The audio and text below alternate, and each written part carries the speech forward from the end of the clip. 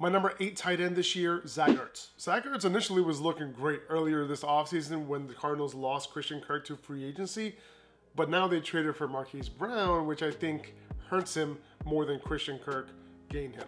That didn't make any sense, did it?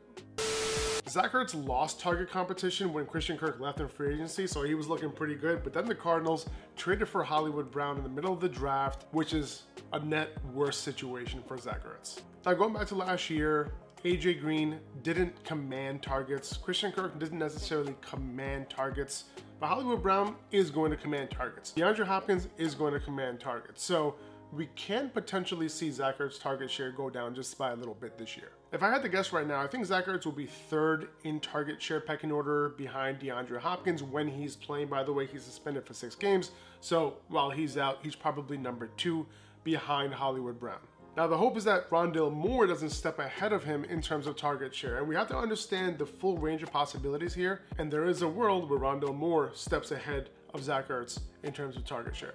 Now, it is worth noting that the Cardinals traded for Zach Ertz for a reason. They wanted to use him and they'd used him right away. Starting in week nine, he was running around on 80% of dropbacks and he didn't dip below that once for the rest of the year. He ran the third most routes and had the second most targets among all tight ends for the remainder of the season.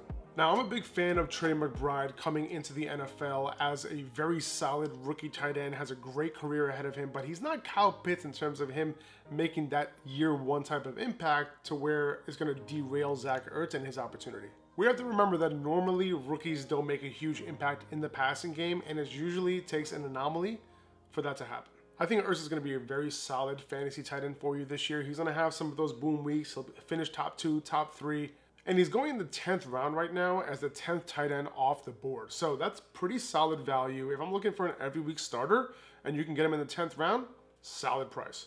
All right, guys, that was my top 10 fantasy tight ends for 2022.